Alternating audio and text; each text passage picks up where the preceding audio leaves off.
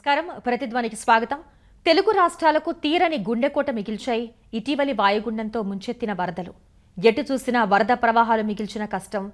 ఆ కారణంగా కలిగిన అపార నష్టమే కనిపిస్తోంది. ఉభయ రాష్ట్రాల్లో లక్షల ఎకరాల్లో రైతుల కష్టం నీటిపాలైంది. కొన్ని చోట్ల పంట పొలాలు నామరూపాలు లేకుండా విధ్వంసానికి గురయ్యాయి. చెరువులు తెగిపోయాయి. వాగులు గండ్లు పడ్డాయి. ఎన్నో ఆశలు పెట్టుకున్న పంటలు సర్వనాశనమయ్యాయి. ఈ పరిస్థితుల్లో రైతుల్ని ఆదుకునేదెలా అన్నదే రెండు రాష్ట్ర ప్రభుత్వాల ముందు సవాల్గా మారింది. ఇదే సమయంలో నష్టం అంచనాలకు కేంద్ర బృందం తరలి రావటం చిమ్మ చీకట్లలో చిరుదీపంలో ఆశలు కలిగిస్తోంది. మరి ఈ పరిస్థితుల్లో వరద ప్రభావిత ప్రాంతాలకు కేంద్రం నుంచి ఎలాంటి ఆపన్నహస్తం అందిస్తే రైతులు కాస్తైనా కోలుకునే అవకాశం ఉంది. ఇదే అంశంపై నేటి ప్రతిధ్వని. ఇక చర్చలో పాల్గొంటున్న వారు కన్నెకంటి రవి గారు రైతు స్వరాజ్య వేదిక నుంచి జె కుమారస్వామి గారు భారతీయ కిసాన్ సంఘ్. రైట్. రవి గారు ఇటీవలి వాయుగుండం వల్ల ముంచెత్తిన వరదలు తెలుగు రాష్ట్రాలకు చేసిన నష్టమెంత మరీ ముఖ్యంగా రెండు రాష్ట్రాల రైతన్నలు ఏ స్థాయిలో నష్టపోయారు? అంటే ఒక రకంగా చాలా సంవత్సరాలుగా ప్రకృతి వైపరీత్యాల వల్ల తెలుగు రాష్ట్రాల్లో రైతులు గ్రామీణ ప్రజలు ముఖ్యంగా పట్టణాల్లో బస్తీల ప్రజలు కూడా చాలా తీవ్రంగా నష్టపోతున్నది మనం చూస్తూ వచ్చాము. వాటన్నిటినీ మించి ఈ సంవత్సరం వరదలు ముంచెత్తడంతో చాలా పెద్ద ఎత్తున గ్రామీణ ప్రాంతంలో ప్రజలకి పంటలకి చాలా తీవ్రమైనటువంటి నష్టం జరిగింది మనం చూసాము ఒక రకంగా ఇప్పుడు వేసినటువంటి ప్రాథమిక అంచనాల ప్రకారమే ఆంధ్రప్రదేశ్లో ఒక తొమ్మిది పది వేల కోట్ల రూపాయల పంట నష్టాలు జరిగిన లే ఒక ఆరు వేల కోట్ల రూపాయలు ఇక్కడ నష్టం జరిగినట్టుగా తెలంగాణ గవర్నమెంట్లో ఒక ప్రాథమిక నివేదిక ఇవ్వడం ఇది మనం చూసాము. అయితే ఇవన్నీ కూడా చాలా ప్రాథమికమైనటువంటి అంచనాలు అనేటువంటిది మనకు తెలుస్తుంది. ఎందుకంటే చాలా ప్రాంతాల్లో ఇంకా కూడా భారీ వర్షాలు కురవడము వరదలు రావడము ఇంకా నదులు పూర్తిగా స్థాయిలో చెరువుల్ని పునరుద్ధరించలేకపోవడము లేదా నదీ ప్రవాహాలు చాలా పెద్ద ఎత్తున ఇంకా ప్రవాహాలు ఉండడము ఇవన్నీ కూడా జరుగుతున్నాయి కనుక నష్టాల అంచనా ఇప్పుడే తేలే అవకాశం అయితే లేదు. అయితే తీవ్రమైనటువంటి నష్టాలు ప్రధానంగా గ్రామీణ ప్రజలు ఎదుర్కొన్నది ఏంటంటే వాళ్ళు వరదలు ముంచెత్తినప్పుడు వాళ్ళ ఇళ్ళు కంప్లీట్గా ధ్వంసం అయిపోవడము వాళ్ళ సామానంతా కొట్టుకుపోవడము వాళ్ళ మొత్తంగా కట్టుబట్టలతో రోడ్ల మీద నిలబడడం అనేటువంటిది మనం చాలా ప్రాంతాల్లో చాలా జిల్లాల్లో రెండు రాష్ట్రాల్లోనూ కూడా చూసాం. ముఖ్యంగా తెలంగాణలో అయితే మహబూబాదు లేకపోతే ఖమ్మం లాంటి జిల్లాల్లో ఈ తీవ్రమైనటువంటి నష్టాన్ని చూసాం. ఆంధ్రప్రదేశ్లో కృష్ణా గోదావరి జిల్లాల్లో అటువంటి నష్టాన్ని మనం చూస్తున్నాం. పంటలకు సంబంధించి వచ్చేసరికి చాలా పంటలు ఇప్పుడు సీజన్ ఎండింగ్లో ఉన్నటువంటి పరిస్థితి ఉంటున్నది అంటే పెసర లాంటి మినుము లాంటి లేకపోతే సోయా లాంటి పంటలు వాస్తవానికి ఈ సీజన్ చే- ఎండింగ్ కల్లా రావాల్సినటువంటి చేతికొచ్చేటువంటి పంటలు చాలా చోట్ల దెబ్బతిన్నాయి. కూరగాయల తోటలు అయితే పూర్తిగా ధ్వంసం అయిపోయినటువంటి పరిస్థితిని చూసాము. వరి పత్తి కూడా చాలా ప్రాంతాలలో పూర్తిగా నీటిలో మునిగిపోయి రోజుల కొద్దీ వారాల కొద్దీ దాంట్లోనే ఉండేటువంటి పరిస్థితిని కూడా చూస్తున్నాం. అంటే అంచనా వేసేటప్పుడు సాధారణంగా అంచనా ఏంటంటే ప్రభుత్వం ముప్పై మూడు శాతం వస్తుంది అనుకున్నటువంటి పంటలో ముప్పై మూడు శాతం డ్యామేజ్ జరిగితే దాన్ని నష్టం జరిగినట్టుగా భావించేటువంటిది ఒక కండిషన్ ఉన్నది. నేషనల్ డిజాస్టర్ రిలీఫ్ ఫండ్ కింద వాళ్ళు పెట్టుకున్నటువంటిది ఏంటంటే మొత్తం వస్తుంది అనుకున్నటువంటి పంటలో ముప్పై మూడు శాతం కనుక డ్యామేజ్ అయితే దాన్ని నష్టంగా గుర్తించాలనేది ఉంది. కాబట్టి ప్రాథమిక అంచనాల్లో ఏంటంటే పైగా ఇది ఎట్లా నిర్ధారిస్తారు అనేటువంటి దానికి ఒక సమస్య ఏంటంటే వ్యవసాయ విస్తరణ అధికారులు కానీ ఇతర సిబ్బంది కానీ ఒకవేళ ఎవరైతే అలర్ట్ చేస్తారో అక్కడ పరిశీలన కోసము వాళ్ళు కంటి చూపుతో అంచనా వేయడం తప్ప వేరే మార్గం ఏమీ లేదు. వాళ్ళు వెళ్ళి పొలం దగ్గర గట్టు మీద నిలబడి ఇంత నష్టం జరిగింది అనేటువంటిది కనుక ఒకవేళ రాస్తే ముప్పై మూడు శాతం కంటే ఎక్కువే నష్టమైంది లేదా యాభై శాతం అయింది లేదా డెబ్బై శాతం అయింది అని రాస్తే ముప్పై మూడు శాతం కంటే ఎక్కువైనటువంటి రైతుల వివరాలని రాసుకొని వాళ్ళు వాళ్ళు ఎన్ని ఎకరాల్లో పంట నష్టపోయారు ఏ పంట నష్టపోయారు లాంటి వివరాలు రాసుకుంటే అది నష్టంగా లెక్కించేటువంటి ప్రక్రియ ఉంది వాస్తవానికి నష్టం ఎంత ఉంటుందంటే పంట ఉత్పత్తి ఖర్చులన్నీ రైతు పెట్టేసి ఉంటారు అది కౌలు కట్టి ఉంటారు లేకపోతే విత్తనాలు ఎరువులు కొని ఉంటారు లేకపోతే కూలీలకు పే చేసి ఉంటారు పురుగు మందులు ఎరువులకు సంబంధించినటువంటి ఖర్చులన్నీ చేసేసి ఉంటారు ట్రాక్టర్లు దున్నడం ఇవన్నీ చేసేసి ఉంటారు పంట చివరి దశలో ఉన్నప్పుడు దాదాపు ఎనభై శాతం తొంభై శాతం ఖర్చులు రైతులు చేసేసి ఉన్నప్పుడు నిజంగా పంట చేతికి వస్తే ఎంత ఆదాయం వస్తుందో అదంతా కోల్పోయినట్టుగా భావించినప్పుడు ఈ ఇప్పుడు వేసేటువంటి అంచనాల కంటే చాలా ఎక్కువ నష్టం ఉంటుంది అనేది మనం అర్థం చేసుకోవాలి. కానీ జనరల్గా నష్టాన్ని అంచనా వేసేటువంటి ప్రక్రియ వల్ల ముప్పై మూడు శాతం జరిగితే ఇగో ఇంత నష్టం అనేటువంటిది ఒక అంచనా వేస్తున్నారు కనుక. దాని ప్రకారం వేస్తున్నటువంటి లెక్కలు ఇవన్నీ కూడా పూర్తి స్థాయిలో పంట నష్టం అంచనాలు ఇంకా రావడానికి టైం పడుతుంది. అదే సందర్భంలో పూర్తి స్థాయిలో ఖర్చు నిజంగా ఎంత పెట్టాడు రైతు అనేటువంటిది కనుక అంచనా వేస్తే కొన్ని వేల కోట్ల రూపాయలు ఇంకా రెండు మూడు రెట్లు రైతులు నష్టపోయేటువంటి అవకాశం ఈ సందర్భంగా కనపడుతుంది. కుమారస్వామి గారు ప్రస్తుతం కేంద్ర బృందం రాష్ట్రంలో పర్యటిస్తోంది. దెబ్బతిన్న పంటల్ని పరిశీలిస్తున్నారు. వారి నుంచి సాయం ఏ స్థాయిలో ఉంటే రైతులు కోలుకునే అవకాశం ఉందంటారు. నమస్కారం. ఇవాళ కేంద్ర బృందం కంటే ముందే కేంద్ర వ్యవసాయ శాఖ మంత్రి రావటం జరిగింది. కేంద్ర వ్యవసాయ శాఖ మంత్రి సుమారుగా ఇరవై సంవత్సరాలు ముఖ్యమంత్రిగా పనిచేసినటువంటి యొక్క వ్యక్తి. చాలా రాజకీయాల్లో అనుభవం ఉన్నటువంటి యొక్క వ్యక్తి. తాను మొదటిసారిగా వచ్చి చూసి వెళ్ళారు. దాని తర్వాత కేంద్ర బృందాన్ని పంపించారు. చాలా సంతోషం. వారికి ప్రత్యేకమైన నమస్కారం తెలియజేస్తున్నా.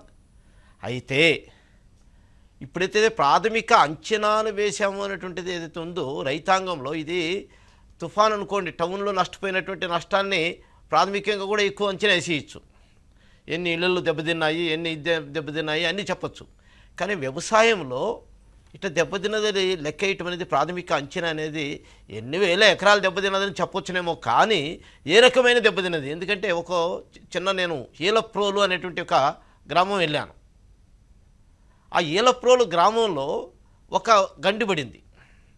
ఆ గండి పడితే మొత్తం నీళ్ళు ఇదే మీకు తెలుసు గండి పడితే ఎట్లా ఉంటుందో. మొత్తం నాకు తెలిసి నేను ఒక అరవై డెబ్బై ఎకరాల లోతు లోపలికి వెళ్ళి ఒక నిలబెడితే మనిషి లోతు నీళ్ళు ఉన్నాయి అక్కడ. కింద ఏముందంటే ఇసుక రెండు అడుగులు ఉందా మూడు అడుగులు ఉందా నాలుగు అడుగులు ఉందా అనే విషయము అర్థం కావట్లేదు. కాబట్టి ఇసుక తీయాలంటే ఎంత? ఇప్పుడు వరి వారు చెప్పారు రవి గారు చెప్పినట్టుగా వరి పంట పెట్టారు. వరి పంటకి ఎంత ఖర్చు అయింది ఆఖరి దాకా పెట్టేసాం అయిపోయింది. దానికి అయ్యే యాభై వేలు అరవై వేలు ఉంటుంది. ఈ అరవై వేలు కాదు. ఇప్పుడు ఈ తీయాలంటే ఇసుక తీయాలంటే ఒక ఎకరానికి ఎంత అవుతుంది? కాబట్టి ఇలాంటివన్నీ చూసినప్పుడు వేల కోట్ల రూపాయలు అవసరం ఉంది. అది కేంద్ర ప్రభుత్వము మంచి మనసు చేసుకొని ఒక ఎకరానికి ఎన్నైతే ఎన్ని ఎకరాలు అయితే దెబ్బతినదో. ఈ ఒక ఎకరానికి లక్ష రూపాయలని ఇచ్చినట్టయితే ఈ ఇసుక మేటలు వేసినటువంటి ఒక ఏరియాకి మిగతా ఏరియాకి అరవై వేల రూపాయలు. మినిమం ఇచ్చినట్టయితే అప్పుడు దానికి ఒక ఇది జరుగుతుంది. ఒకటి రెండవది ఇసుక ఈ లక్ష రూపాయలు ఇచ్చినా యాభై వేలు ఇచ్చినా ఇంకో సంవత్సరం తర్వాత రెండు సంవత్సరాల తర్వాత ఇస్తే దానివల్ల ఫలితం లేదు. కాబట్టి మా రైతాంగానికి ఏదైనా లాభం జరగాలంటే. వాళ్ళు ఇచ్చేటువంటి యొక్క మనం మేము అడుగుతున్నటువంటి ఒక అరవై వేలు కావచ్చు లేకపోతే లక్ష రూపాయలు కావచ్చు అది ఇమీడియట్లీగా ఒక నెల రోజుల లోపల కానీ ఇచ్చినట్టయితే మేము రెండో క్రాప్కి వెళ్ళేదానికి అవకాశం ఉంటుంది. ఓకే. Right sir. కాబట్టి రెండో క్రాప్ని దృష్టిలో కుమారస్వామి గారు. ఈ యొక్క ప్రభుత్వం ఆలోచించాలి. కేంద్ర ప్రభుత్వమే కాకుండా రాష్ట్ర ప్రభుత్వం కూడా కలిసి పనిచేయాలి. Right sir. ఇది మా యొక్క ప్రధానమైనటువంటి. Okay sir. రవి గారు పంట నష్టం ఒకటే కాదు ఇందాక సార్ చెప్పినట్టు పొలాలు కోతకు గురి కావడం కానివ్వండి ఇసుక రాళ్ళు వంటివి కప్పేయడం వల్ల కూడా పొలాలకి చాలా నష్టం జరిగింది. దానిపై క్షేత్రస్థాయిలో మీరేం గమనించారు? అవును. అంటే చాలా సందర్భాల్లో ఏం జరిగిందంటేనండి పంట పూర్తిగా మునిగిపోవడం అనేది వరద వరద వచ్చేసి నాలుగు రోజులు నీళ్ళుండి వెళ్ళిపోవడం అనేటువంటిది కొన్ని ప్రాంతాల్లో జరిగింది. కొన్ని ప్రాంతాల్లో పూర్తిగా నది కానీ చెరువులు కట్టలు దిగినప్పుడు కానీ నదీ పరివాహక ప్రాంతాల్లో అన్ని చోట్ల కూడా వరద ముంచెత్తినప్పుడు పొలాల మీదకి పెద్ద ఎత్తున ఇసుక మెటలు వేయడం అనేటువంటిది జరిగింది. చాలా సందర్భాల్లో ఏం జరిగిందంటే చాలా సారవంతమైనటువంటి మట్టి ఈ నీళ్ళల్లో కొట్టుకుపోయి ఆ మట్టి స్థానంలో ఇసుక చేరినటువంటి పరిస్థితి ఉన్నది. రెండవది చాలా సందర్భాల్లో రాళ్ళు రప్పలు కూడా చాలా పెద్ద ఎత్తున పొలాల్లోకి వచ్చి చేరినటువంటి పరిస్థితి ఉన్నది. అసలు చాలా పెద్ద ఎత్తున గుంతలు పడిపోయి అంటే పొలం ఒక లెవెల్గా ఉండే ఉండాల్సినటువంటి పొలం చాలా పెద్ద పెద్ద గుంటలతో పాడైపోయినటువంటి సందర్భం ఉంది. మహబూబాబాద్ జిల్లాలో చూసినప్పుడు ఇప్పటికే కూడా ఇంకా అసలు పొలాలు బయటకి తేలనటువంటి పరిస్థితి చాలా సందర్భాల్లో మేము గమనించాము. అయితే నిజంగా ఇందాక కుమారస్వామి గారు అన్నట్టు ఇది ఒక యాభై వేలతోనో అరవై వేలతోనో ఒకవేళ కంపెన్సేషన్ ఇచ్చేస్తే రైతుకి ఆ అకౌంట్లో డబ్బులు వేసేస్తే ఆ అకౌంట్ అది దాని నుంచి ట్రాక్టర్లను మాట్లాడుకునో డోజర్లను మాట్లాడుకునో లేకపోతే జేసీబీలను మాట్లాడుకునో ఆయన లెవెల్ బాగు చేసుకుంటాడు అనేది అసాధ్యమైనటువంటి విషయం. మేము కోరుతున్నది ఏంటంటే గతంలో కూడా మేము కోరాము ఇప్పుడు కూడా కోరుతున్నది ఏంటంటే ఎట్లయితే ఒక ఇల్లు పాడైపోతే పునరుద్ధరించడానికి ఒక ప్రయత్నం చేస్తున్నారో దాన్ని తిరిగి రిస్టోర్ చేయడానికి సహాయం అందించడానికి ప్రభుత్వాలు ఆలోచిస్తున్నాయో పాడైపోయినటువంటి భూములను పునరుద్ధరించడానికి కూడా చాలా పెద్ద ఎత్తున ప్రభుత్వమే పూనుకోవాల్సినటువంటి అవసరం ఉంది. పూర్తి స్థాయిలో యంత్రాలని కూడా తీసుకొని వచ్చి మనుషులను కూడా ఎంగేజ్ చేసి ఉపాధి హామీ పథకం లాంటి కిందకి దాన్ని తీసుకొచ్చి వాళ్ళే భూముల్ని పూర్తిగా క్లీన్ చేసి రైతులకు తిరిగి పాత పద్ధతుల్లో తమ భూమిని తాము ఎక్కడైనా సారవంతమైనటువంటి మట్టి దొరికితే బాగా గుంతలు పడినటువంటి పొలాల్లోకి మట్టిని కూడా చేర్చి కర్నూలులో తుంగభద్ర ఎరువులు వచ్చినప్పుడు ఒక స్వచ్ఛంద సంస్థగా రైతు స్వరాజ్య వేదిక కానీ లేకపోతే ఎయిడ్ అనేటువంటి సంస్థ కానీ సహకారంతో కొండాపూర్ అనేటువంటి విలేజ్లో నూట ఇరవై ఐదు ఎకరాలు ఇట్లాగే పూర్తి సారవంతమైనటువంటి మట్టి కొట్టుకుపోవడము ఇసుక మేటలు వేయడం జరిగినప్పుడు పూర్తిగా దాన్ని రిస్టోర్ చేయడానికి దాదాపు ఒక పది పదిహేను లక్షల రూపాయలు ఖర్చు అయితే అది పెట్టి చేయించినటువంటి ఘటనలు ఉన్నాయి ఇట్లా చిన్న సంస్థలు ఈ పని చేయలేవు. ప్రభుత్వమే ఇది ఒక ప్రకృతి వైపరీత్యంగా గుర్తించినప్పుడు కేంద్ర ప్రభుత్వం కానీ రాష్ట్ర ప్రభుత్వం కానీ బడ్జెట్లో ఇవాళ అత్యవసర నిధి కింద నిధుల్ని రిలీజ్ చేసేసి పెద్ద ఎత్తున యంత్రాలని తీసుకొని వచ్చి ఏమాత్రం వరద తగ్గినటువంటి అన్ని భూముల్లోనూ కూడా తిరిగి భూమిని రిస్టోర్ చేయడానికి నెక్స్ట్ పంట వేసుకోవడానికి కావాల్సినటువంటి ఏర్పాట్లు ప్రభుత్వమే చేయాలి. ఏదో మార్చి ఏప్రిల్ దాకా ఉపాధి హామీ పథకం కోసం ఆగాల్సినటువంటి అవసరం లేదు. ఉపాధి హామీ బడ్జెట్లోకి దీన్ని తీసుకొని వచ్చి దాన్ని యంత్రాలని మనుషుల్ని ఉపయోగించి ఈ భూముల్ని తిరిగి సారవంతం చేసి రైతుల. చేతుల్లో అప్పచెప్తే బాగుంటుంది అనేది మా అభిప్రాయం. కుమారస్వామి గారు సాధారణంగా ఇలాంటి వరదలు విపత్తుల సమయంలో కేంద్ర రాష్ట్రాల నుంచి రైతులకు ఎటువంటి సాయం అందుతుంది? ఈ ప్రస్తుత పరిస్థితుల్లో అది సరిపోతుందంటారా? ఇప్పుడే చెప్పాను ఇంతకుముందు. ఒకటే ఒకటి ఇప్పుడు వరకు నేను చూస్తున్నా నేను గత ముప్పై సంవత్సరాలుగా ఈ యొక్క రైతాంగ ఉద్యమాల్లో రైతుల యొక్క కార్యక్రమాల్లో పాల్గొంటున్నా పెద్ద పెద్ద తుఫానులు చూశాను నేను. తొంభై ఆరు కావచ్చు తొంభై తొంభై ఆరులో కోనసీమలో జరిగిన తుఫాను కావచ్చు ఇలాంటివన్నీ. కానీ రైతు నష్టపోయేది కో లక్ష రూపాయలు అయితే ప్రభుత్వం ఇచ్చేటువంటిది పదివేలు పదిహేను వేలు ఇరవై వేలు ఇప్పుడు దాకా. కానీ దానివల్ల రైతుకి సరిపోదు. అందుకని నేను ఇవాళ అడిగాను. చంద్రబాబు నాయుడు గారు కూడా అనేక సార్లు ఆయన యొక్క దీంట్లో రైతుకి సహాయం తగినంత స్థాయిలో చేయాలి అని చెప్పి. కాబట్టి ఆ తగినంత స్థాయి అంటే ఈరోజు నష్టపోయింది ఒక ఎకరానికి అరవై వేలంటే ప్రభుత్వం అయినా సరే దానికి నలభై వేల రూపాయలనే ఇవ్వాలా? లక్ష రూపాయలు నష్టపోతే పదివేల రూపాయలు ఇవ్వటం అనేటువంటిది ఇప్పుడు జరుగుతుంది. కాబట్టి అట్లా కాకుండా ఇప్పుడున్న కేంద్ర ప్రభుత్వము రాష్ట్ర ప్రభుత్వం రెండు ఓ మంచి ఒకే రకమైన ప్రభుత్వాలు కాబట్టి ఇక్కడ అక్కడ మేము అడుగుతున్నది ఏంటంటే రైతుగా అయ్యా మేము నష్టపోయినటువంటి ఒక ఎకరానికి అరవై వేల రూపాయలు ఇవ్వండి మమ్మల్ని ఆదుకోండి అట్లా ఆదుకున్నట్టయితేనే మంచి జరుగుతుంది అది ఒకటి. రెండవది ఇవాళ పశువులు చనిపోయినాయి. రెండవది పశువులు ఇవాళ మేత. ఎక్కడ పశువులు మేత లేదు. ఎందుకంటే అంతా సముద్ర చుట్టూరా సముద్రమే. సముద్రంలో ఎక్కడ దిగాలి పశువులు? ఒకళ్ళు కొన్ని కొన్ని పశువులు కొట్టుకుపోయాయి. కొన్ని పశువులు చనిపోయినాయి ఆ విధంగా. కొన్ని ఉన్న పశువులకి మేత ఎక్కడికి లేదు. కాబట్టి గవర్నమెంట్ ఇచ్చింది ఈ రోజున. ఏది ఒక కట్ట ఒక కట్టది ఒక కట్ట ఇది ఇచ్చింది. కానీ ఒక రోజుకి రెండు రోజులకి సరిపోతుంది. కాబట్టి ఇట్లా కాకుండా తగినంత ఎక్కువ ఇవాళ ప్ర ప్రత్యేకంగా ఎన్జిఓస్ చాలా ఎన్జిఓస్ ముందుకు వచ్చి రకరకాల వాళ్ళు సహాయం చేస్తున్నారు కాబట్టి ఇవాళ పశువులకు దానా కావచ్చు పశువులు మేత కావచ్చు అన్నీ వస్తున్నాయి. నేను దాన్ని ఏమి నేనేమి వ్యతిరేకించట్లేదు దాన్ని చేయట్లేదు అనట్లేదు వస్తున్నాయి. కానీ దాని తగినంత స్థాయిలో రావాల్సిన స్థాయిలో రావట్లేదు. ఒకటి. రెండవది మొన్నటిదాకా ఏమైంది? క్రాప్ ఇన్సూరెన్స్ ఇచ్చేవాళ్ళు. లాస్ట్ ఐదు సంవత్సరాలు వాళ్ళు ఏ రోజు క్రాప్ ఇన్సూరెన్స్ కట్టలేదు. దానివల్ల రైతుకి మేలు జరగలేదు. కాబట్టి ఆ ఇన్పుట్ సబ్సిడీ అంటారు. ఇన్పుట్ సబ్సిడీ చాలా తక్కువ వస్తుంటుంది. కాబట్టి అట్లా కాకుండా ఇన్పుట్ సబ్సిడీని అరవై వేల రూపాయలు ఇస్తూ క్రాప్ ఇన్సూరెన్స్ని రైతుకి ఆదుకునే విధంగా చేయాలి. పశువులని తగినంత స్థాయిలో పశువులు చనిపోయిన పశువులకి లక్ష రూపాయలని ఇచ్చే విధంగా ఆలోచన చేయాలి ప్రభుత్వం. సార్. తప్పనిసరిగా ఆ రకంగా ఎప్పుడైతే చేస్తారో అప్పుడే రైతుకి నిలబడేదానికి అవకాశం ఉంటుంది.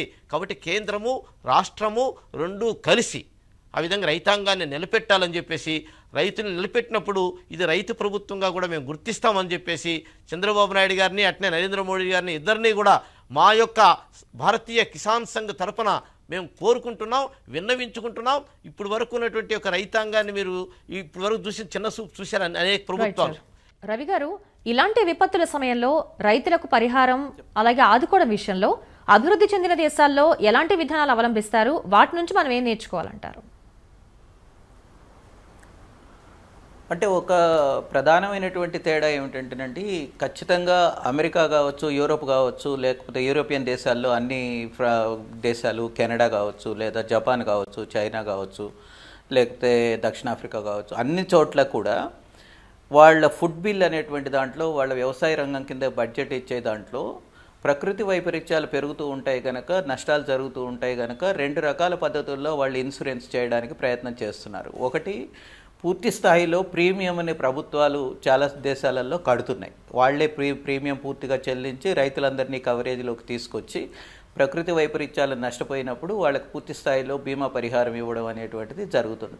కొన్ని దేశాలలో అమెరికా లాంటి దేశాల్లో డెబ్బై ఐదు పర్సెంట్ ప్రీమియము కెనడాలో కూడా డెబ్బై ఐదు పర్సెంట్ ప్రీమియం దాదాపు ప్రభుత్వాలే కడుతున్నాయి. కొన్ని దేశాలలో యూరోపియన్ యూనియన్లో ముప్పై ఏడు నలభై శాతం ప్రభుత్వాలు కడుతున్నాయి. కొంతేమో రైతులు కట్టుకోవాలనేటువంటిది ఉన్నది.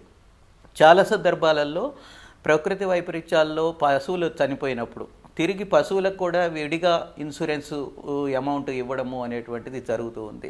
ఇలాంటి ప్రకృతి వైపరీత్యాల వల్ల లేదా ఏదైనా మౌలిక వస్తువులు దెబ్బతింటే రైతుల ఫామ్లో కానీ ఇళ్ళ దగ్గర కానీ గ్రామీణ ప్రాంతం మొత్తంగా వాళ్ళ రోడ్లు పాడైపోవడము ట్రాన్స్ఫర్లు పాడైపోవడము లేదా మోటార్లు కాలే మోటార్లు కొట్టుకుపోవడము లేదా ఇట్లాంటి ఏదైనా జరిగిన సందర్భాలలో చాలా సందర్భాల్లో వాటి కోసం విసి విడిగా సహాయం చేయడానికి నిధులు పెట్టుకొని వాళ్ళ బడ్జెట్లలో కేటాయిస్తున్నటువంటి స్థితి ఉన్నది. మన దగ్గర విషాదం ఏమిటంటే మన దగ్గర కేవలం నేషనల్ డిజాస్టర్ రిలీఫ్ ఫండ్ అనేటువంటిది ఒకటి ఉంది. దాని కింద ప్రతి సంవత్సరం కూడా ఒక మూడు నాలుగు వందల కోట్లు రాష్ట్రాలకి నిధులు ఇవ్వడం అనేటువంటిది జరుగుతూ ఉంది.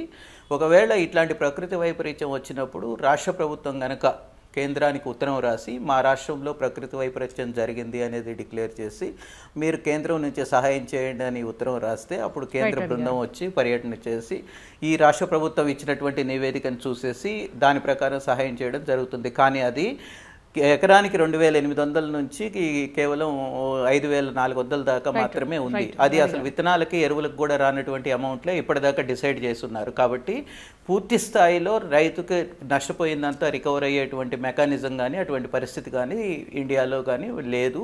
దానివల్ల రైతులు కోలుకోనేటువంటి దెబ్బతింటున్నారు వాళ్ళు ఎప్పటికీ ఇంకొక నాలుగైదేళ్ళైనా సరే తిరిగి పంటలు పండినా సరే ఈ ఈసారి తగిలిన దెబ్బ నుంచి కోలుకునేటువంటి పరిస్థితి లేకుండా పోతుంది. అందుకే ఎప్పుడు వ్యవసాయ కుటుంబాలు అప్పుల్లో ఉండడానికి ఇది ఒక ప్రధానమైనటువంటి కారణంగా ఉంది.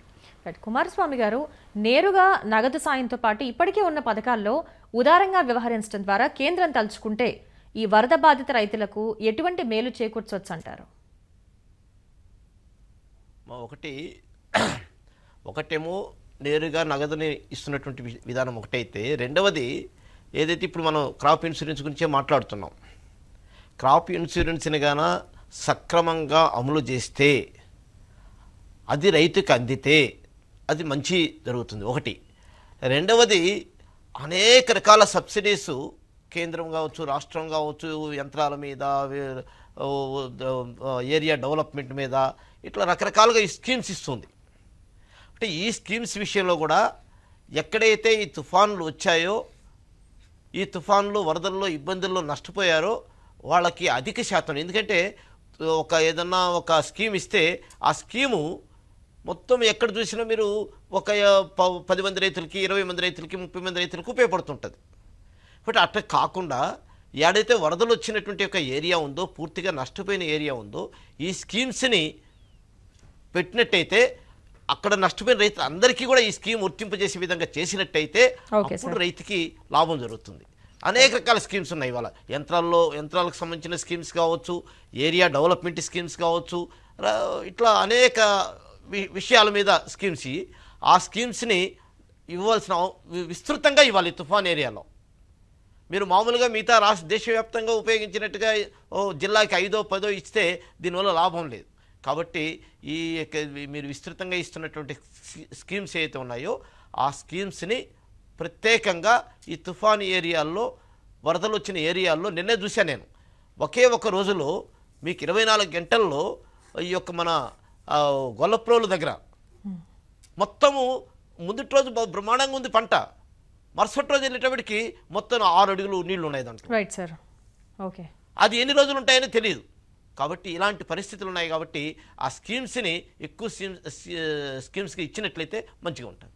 రైట్ రవి గారు కొంతకాలంగా కారణాలు ఏవైనా కావచ్చు ఈ వరదలు విపత్తులు అనేవి తరచుగా వేధిస్తున్నాయి. వీటి నేపథ్యంలో కేంద్ర సాయం విషయంలో మార్పులు చేయాల్సిన అవసరం ఉందంటారా. తప్పకుండా ఉందండి. ముఖ్యంగా రెండు మూడు చర్యలు ప్రభుత్వాలు చేపట్టాల్సినటువంటి అవసరం అయితే ఉంది. ఒకటి ప్రకృతి వైపరీత్యాలని ఆపలేం కానీ మనము. ప్రకృతి వైపరీత్యాలకి కారణమవుతున్నటువంటి వాతావరణ మార్పుల్ని ఏదైతే జరుగుతున్నాయో చాలా పెద్ద ఎత్తున ప్రతి సంవత్సరం వరదలు రావడం కావచ్చు తుఫాన్లు రావడం కావచ్చు భారీ వర్షాలు కురవడం కావచ్చు అధిక ఉష్ణోగ్రతలు నమో నమోదు కావడం కావచ్చు ఇట్లాంటివి ఏదైతే జరుగుతున్నాయో ఆ కారణాలని గుర్తించి పంట నష్టాలు కానీ రహిత నష్టాలు కానీ వ్యవసాయ నష్టాలు కానీ జరగకుండా వాతావరణంలో వస్తున్నటువంటి మార్పుల్ని అడ్డుకోవడానికి కూడా విధానాలలో మార్పు ఒకటి ఫస్ట్ ప్రైమరీగా ప్రభుత్వాలు ఆలోచించి తేవాలి. రెండవది అయినా సరే కొన్ని ప్రకృతి వైపరీత్యాలు వస్తాయి కనుక రెండు రకాల జాగ్రత్తలు తీసుకోవాలి. ఒకటి ఇప్పుడు ఏదైతే ఎన్డీఆర్ఎఫ్ కింద ఇన్పుట్ సబ్సిడీ కింద ఏదైతే నష్టపరిహారాల్ని నిర్ణయించారో అది చాలా తక్కువ ఎప్పుడో ఈ పదిహేను ఏళ్ళ నాటి నిర్ణయించినటువంటి నష్టపరిహారాలు. ఇవాళ తెలంగాణలో పదివేల రూపాయలు ఎకరానికి ఇస్తామని ప్రకటించారు కానీ కేంద్రం అంత సహాయం చేయదు. ఇది రాష్ట్ర బడ్జెట్ నుంచి పెట్టుకోవాల్సినటువంటి డబ్బుగా ఉంటుంది.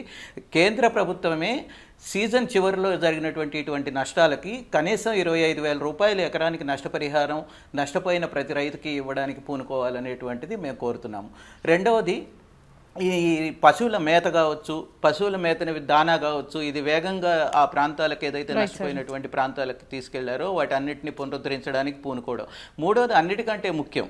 పంటల బీమా పథకానికి కేంద్ర స్థాయిలోనే ప్రీమియం ప్రే- ప్రే- ప్రీమియం పూర్తిగా కేంద్ర ప్రభుత్వం చెల్లించాలి. అది రాష్ట్రాల మీద ఎప్పుడైతే బర్డెన్ అవుతున్నదో అది రాష్ట్ర ప్రభుత్వాలు కూడా దాన్ని పే చేయలేనటువంటి పరిస్థితుల్లో.